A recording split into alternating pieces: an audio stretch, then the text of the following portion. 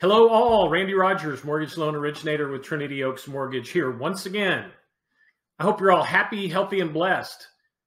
Today, I wanted to talk to you about ways you can increase your credit scores. This is very important when you're shopping for a mortgage or a refinance, as higher scores mean better rates, and low scores could even mean that you get declined. So, let's talk about a few things you can do to raise those scores. First of all, as I've mentioned before, know your scores. Either sign up for a monitoring service or take advantage of your free annual scores from annualcreditreport.com. Pay attention to any negative items, and if they're wrong, contact the credit bureaus and ask to have them removed. It's very common for there to be erroneous items on these reports or things that should have fallen off long ago, and you can and should fight to get them corrected.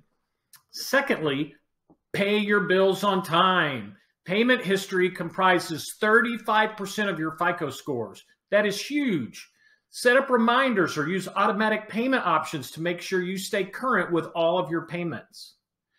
Besides payment history, the second biggest factor in determining your scores is your credit usage.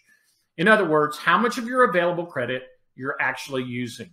For example, if you have credit cards with a combined $20,000 in available credit and have $4,000 in credit card debt, you're using 20% of your available credit. The maximum recommended usage to keep your score as high is 30%. So make an effort to pay down any amounts higher than this. On a related note, it's not necessarily a good idea to close accounts once they're paid off. This will actually lower your available credit and it could negatively impact your scores.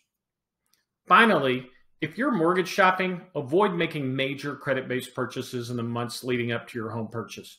Buying something like a new car on credit will require hard credit inquiries that can lower your scores up to 10 points or so for up to a year. And this could make a big difference in the rate that you're offered.